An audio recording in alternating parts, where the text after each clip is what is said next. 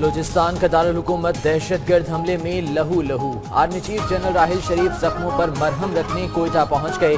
Civil अस्पताल का दौरा, जख्मियों से मुलाकात की। वज़ीर आज़म नवाज़ शरीफ कुछ देर में पहुँचेंगे। खुदकुश धमाके में तिरसठ अफराद जाम बहक चालीस से जायद जख्मी हुए। दहशतगर्दों की बुजदिलाना कार्रवाई, मरने वालों में बलोचिस्तान बार के सबक सदर बास काकड़ समेत बड़ी तादाद में वकला शामिल। कई वकला अस्पताल में ज़िंदगी और मौत की कश्मकश में मुब्तला।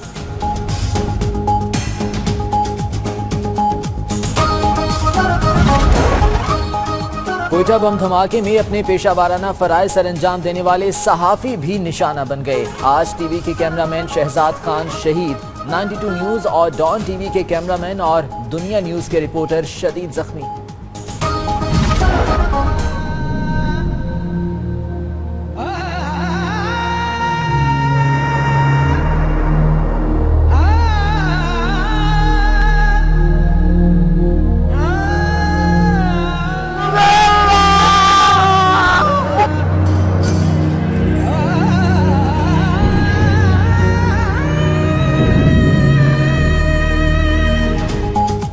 धमाका सिविल अस्पताल कोयटा के शोभा हादसा के बैरूनी गेट पर हुआ।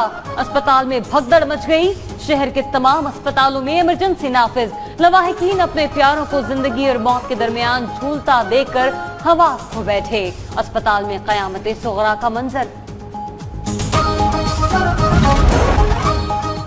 खुदकुश हमलावर का सर और जिस्म के आजाम मिल गए। इब्तदाई तफ्तीश के मुताबिक धमाके में आठ किलो धमाका खेज मवाद इस्तेमाल किया गया। कोयटा समेत सूबे भर में सिक्योरिटी इंतहाई सख्त। फोर्सेस ने दहशत गर्दों की तलाश शुरू कर दी।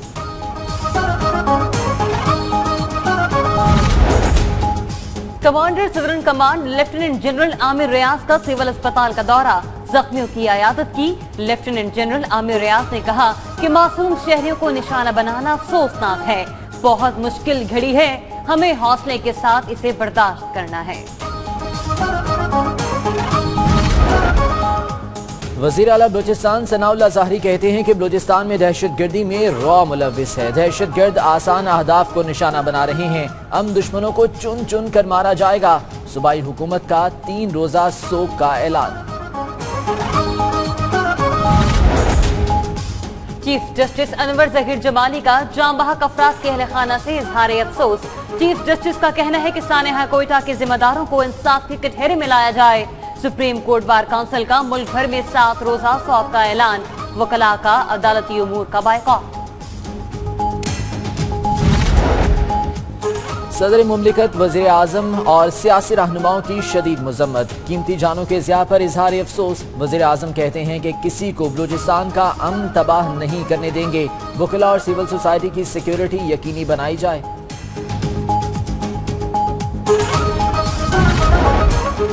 सिंध में तब्दीली आ गई। आठ साल में पहली बार सुबह आठ बजे इजलास मुराद अली शाह कहते हैं लंबी ब्रीफिंग और बातें नहीं नतीजा चाहिए। डीएमसी का जो अमला काम नहीं करेगा वो घर जाएगा। पाकिस्तानी बल्लेबाज फिर दगाबाज निकले। तू चल मैं आया की रिवायत बरकरार रखी और फतह तश्तरी में रखकर कुक को पेश कर दी। इंग्लैंड को चार मैचेस की सीरीज़ में दो एक की बढ़तरी और ओलंपिक्स में नए नए रिकॉर्ड्स बन रहे हैं। अपसेट्स हो रहे हैं। विनस विलियम्स के बाद आलमी नंबर एक टेनिस स्टार नवाक जोकोविच भी पहले राउंड में शिकस्त के बाद ओलंपिक से बाहर हो गए।